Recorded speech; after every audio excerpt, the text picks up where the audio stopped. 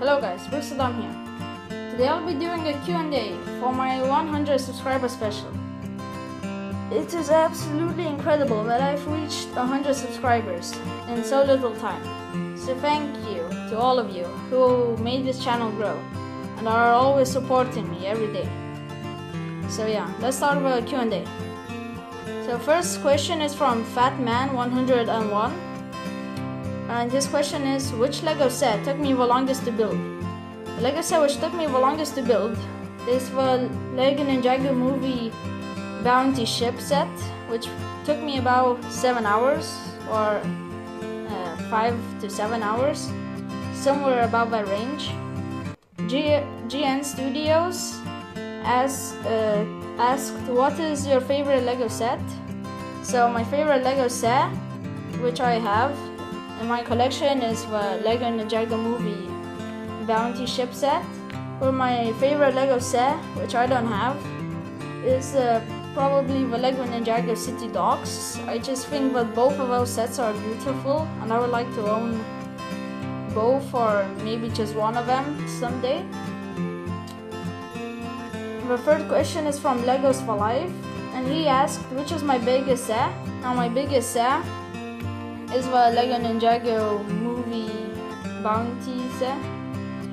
And he also asked another question What is my real name?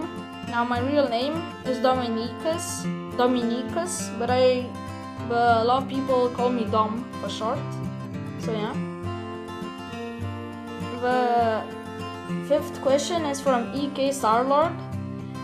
If, if I do I think any sets will be released for Jedi Fallen Order? There might be a couple of sets, like a couple of battle packs, or maybe like a fifty dollars dollar set. Well, dollar, euro, or you know. But yeah, there might be a couple of sets. LWSA Productions uh, "Do I think that Lego make any army or war sets?" Lego will themselves have said that they won't make any like World War World War One or World War Two sets, mostly because of the kids and the brutal past which war which war has led to us. So yeah, but you might be wondering that there are a lot of themes which have a lot of like fights and war and weapons like Star Wars and Ninjago, but those are sort of like fantasy not real life. But I myself would like to see a couple of horses like a Sherman Tank, which would be very cool. Bear Bricks asked, what is my favorite food? Which like a lot of kids, I like fast food and pizza. And yeah, stuff like that. Nine Shark underscore productions asked, what is my top three favorite LEGO themes? Which this is a hard question to answer because there are a lot of good LEGO themes but my top three favorite will probably be number one Star Wars, number two maybe Harry Potter. Uh, instead of Harry Potter, I might go with Lego Ninjago. Uh, number three would be the CMF series, which uh, I will count it as a theme. Now, Panda Productions 54 asked what is my most expensive set, which is the Lego Mindstorms 2.0 set, which is quite expensive. Ministream 316 Films asked what is my favorite LEGO minifigure. So my favorite LEGO minifigure is this LEGO minifigure. Okay guys, I'm just kidding.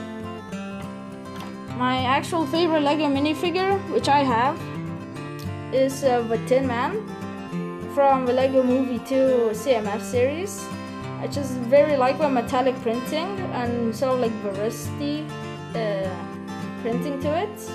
It also has side arm and leg printing, and the accessories are also very cool. But my most favorite LEGO minifigure, which I don't have, is the LEGO Clutch Powers minifigure, which I just love a LEGO minifigure. The battle pack for that minifigure hasn't been in my hasn't been released in my country yet, but I hope it will be released soon. But yeah, I just I, I even have a DVD for that movie. And the other question from Ministream 316, 316 Films is how long it takes me to do a video. So it depends from the video.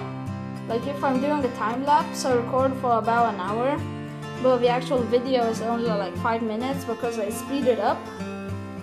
And uh, for example, like a stop motion could uh, be from half an hour to like 15 minutes. Like my newest stop motion took me about 45 minutes, even though it's only two minutes long. But most of my stop motions are only like 10 minutes or 15 minutes to make. So yeah. Thank you for all of. But yeah, this is the end of the Q&A. So thank you to all of the subscribers who have helped me out. My next sub goal is 250 subscribers. So yeah, thank you for watching. Rest of them out.